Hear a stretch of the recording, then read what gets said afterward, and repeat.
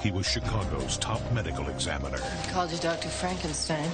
That is correct. whose art was inspired by his work. New today, Bone Daddy, latest page turner from Chicago's master of the macabre. Only now, My agent may be in danger. life imitates art I think this is for you.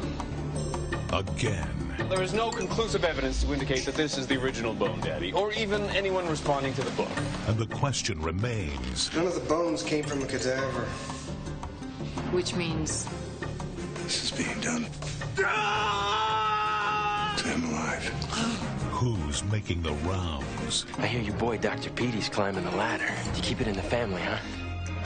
Since I never had it before, I don't think I suddenly want your quality time now. the killer in the book was an ME. Like you. Like fiction. Still awake. The earlier victims had nothing in common. This is different. It's a response. And he isn't finished. What's she gonna think while I'm working? She's screaming and she's wondering where the hell you are. You hesitate.